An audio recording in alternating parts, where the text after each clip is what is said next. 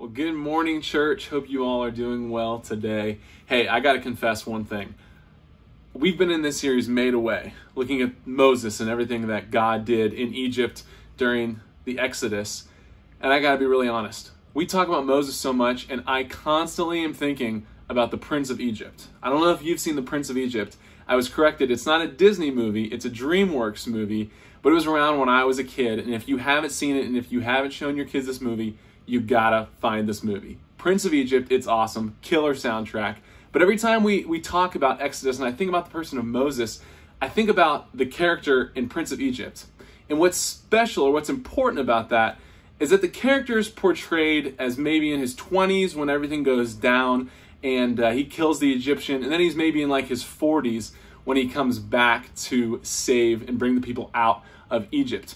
But the reality, as we read in Exodus 7, is that the reality is that Moses was 40 when he killed the Egyptian, and he was 80 when God appeared to him at the burning bush and he came back to save the people in Egypt.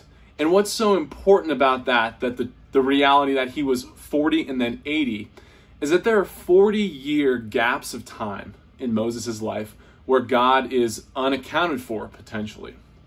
I don't know about you, but there's a ton of times in my life where I feel like there are these snapshots where I see God working here and there, and then there's a lot of the in between where I don't necessarily see God's hand at work as vividly as Moses did in those two separate instances. And my encouragement to you today is to not forget that God is working in those spaces.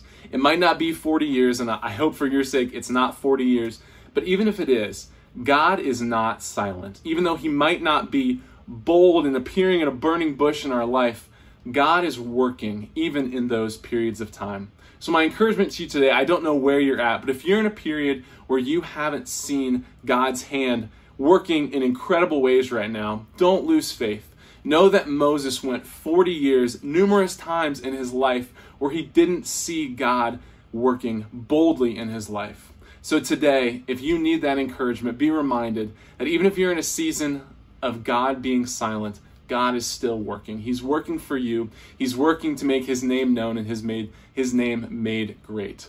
So let that be an encouragement to you this morning. As we continue in this series, be reminded that God is working. As he did with Moses and in the past, throughout the Old Testament, throughout the New Testament, throughout history, and throughout our lives, God has been continually working, and we have faith and trust that he will continue to do just that.